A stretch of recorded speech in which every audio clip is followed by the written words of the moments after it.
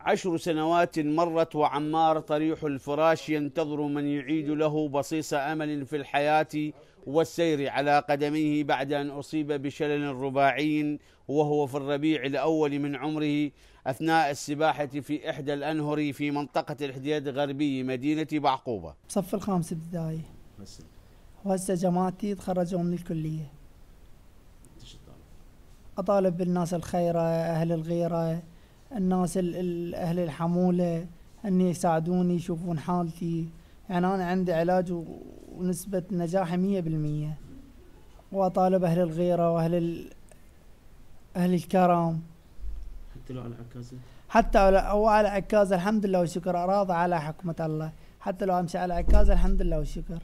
وناشد والداه المنظمات والجهات الحكومية بالنظر بحال ابنهم بعد أن تقطعت بهم سبل العيش.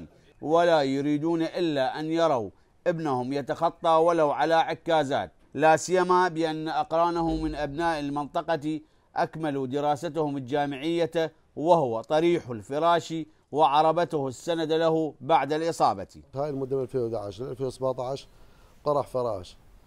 بال 2017 عرضت على دكتور هنا بديالة قال هاي العملية غلط.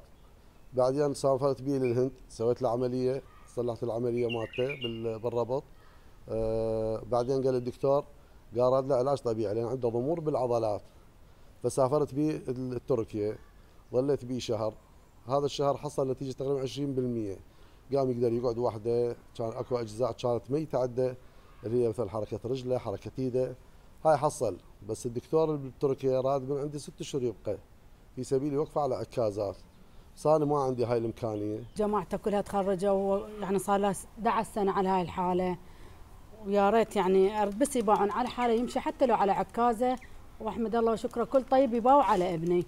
لم يكن عمار الأول ولن يكون الأخير يطالب بمد يد العون ومن يعيد له الأمل في الحياة في ظل الظروف القاسية التي تعانيها الكثير من العوائل بضنك العيش في عراق تنهب ثرواته من قبل الفاسدين. من محافظة ديالى حسن شمري التغيير الفضائية.